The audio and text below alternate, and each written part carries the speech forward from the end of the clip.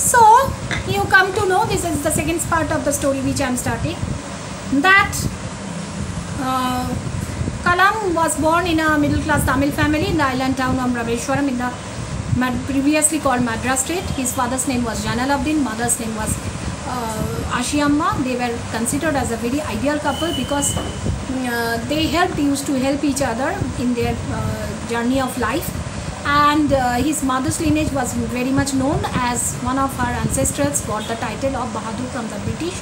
And Kalam was one of many children which uh, we who was a short boy with rather un, uh, rather uh, undistinguished looks. Means not noticeable.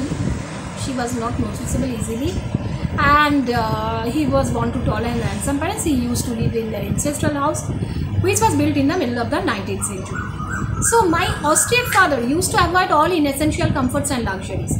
His austere means his father was very much self-disciplined. He was very much strictly simple. Okay, and he was very much down to earth. And he used to avoid all inessential comforts. for The comforts which are not necessary for survival, he used to avoid all those comforts and luxuries. However, all necessities, according to Kalam, whatever necessities were there required, the thing which were required for sustenance or for the survival of life, like the food, medicine, and clothing, they were provided to them. In fact, I would say mine was a very secure childhood, materially and emotionally. Why? According to Kalam, Kalam's childhood was very secure. Mentally, why? Because he had got such good parents, such very in, uh, inspiring parents uh, like Janaluddin and Ashiamma, as well as uh, there and uh, materially, he, they got means he used to get everything he wanted. So everything he wanted, he used to get, and uh, he did not have any kind of shortage or paucity. Means he did not have the feeling of the, not getting anything. Okay, he was quite satisfied with his life. That's why he called it a rather secured or a rather protective childhood with uh, materially and emotionally. I normally ate with my mother sitting on the floor of the kitchen. He used to eat with his mother normally sitting on the floor of the kitchen. She would place a banana leaf before me on which she then ladled rice and aromatic sambar. So he, he normally ate with his with his mother sitting on the floor of the kitchen and she would place a uh, banana leaf before him and then she would uh, take some rice with the help of the ladle and then she would place it on the banana leaf and other food items were aromatic sambar a variety of sharp homemade pickles and then a spoonful of fresh coconut chutney so it was a very nice uh, uh, food habit because he was uh, considered to be a veg. The Shiva temple which made Rameshwaram so famous pilgrims. To pilgrims was about a 10 minute walk from our house. So, so the Shiva temple which was which was the very holy place for the Hindus or for the pilgrims who used to visit Rameshwaram temple very often and that Rameshwaram temple was just a 10 minute walk distance from Kalam house. Our locality was predominantly Muslim but there were quite a lot of Hindu families too, living amicably with their Muslim neighbors. So he pointed out that here their locality was a predominantly Muslim locality. Predominantly means mostly Muslim families lived there because Muslim population dominated their locality. But there are quite a lot of Hindu families also who lived friendly with their Muslim neighbors. There was a very old mosque in our locality where my father would take me for evening prayers. So there was a very old mosque in their locality where father would take him from for evening prayers. Evening prayers meaning he used to visit the mosque, local mosque for the evening prayers. This is the type of tradition of namaz, reading namaz, uh, which exists in the among the Muslims. So there was an. Uh, uh, I had not the faintest idea of the meaning of the Arabic prayers chanted, but I was totally convinced that they reached God. But he could not understand.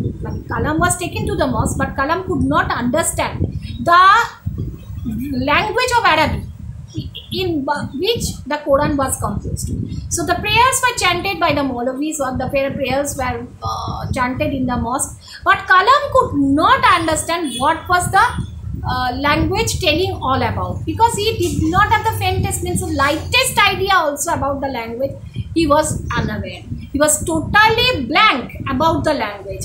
But he went to the mosque uh, regularly. He listened to the prayer uh, with great uh, uh, concentration. And what happened at that point of time, a great spiritual uh, realization touched his mind was that he realized that that uh, he was totally convinced he started believing that what that whatever might be whatever might be the language of the prayers whatever was uttered at that point of time was definitely reaching god he had the idea that prayers might be in any language but they reached god when my father came out of the mosque after the prayers, people of different religions would be sitting outside and waiting for him. So when his father came out of the mosque after the evening prayers, what happened? People uh, means uh, people of different religions uh, would be sitting outside waiting for him. Many of them offered bowls of water to my father, who would dip his fingertips in them and say a prayer. So what happened? People of different religions they would be sitting outside for Kalam's father. Why? Because they were waiting for him. As they would offer him bowls of water, he would put his fingertips into the bowl of water and he would utter a prayer. That means he would sanctify the water and he would provide those bowls of water to whom? To those people of different religion. Why they had come to Kalam's father? Because they had come to Kalam's father to take that sanctified water for the invalids. Either those people might be physically ill or mentally ill. It was their belief that the sanctified water would be able to able to uh, help the people to recover from any kind of mental or physical sickness. So people of different level would be sitting outside waiting for him. Many of them offered bowls of water to my father, who would dip his fingertips in them and say a prayer. This water was then carried home for invalids. I also remember people visiting our home to offer thanks after being cured. Father always smiled and asked them to thank Allah the Merciful. So many people came to Kalam's house. They also thanked whom? They also thanked Kalam's father. But Kalam's father smiled at them and Kalam's father said what? Because he always acknowledged the presence of God or the presence of the Supreme Being and he considered that presence of God as Allah. So he always smiled and he wanted people to thank Allah, the merciful, not him. Because he was just acting as a mediator, he considered himself as a mediator and between Allah and human beings.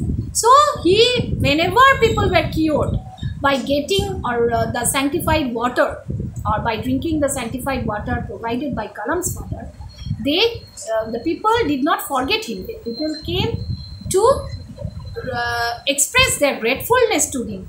And he always said that he they need to thank who?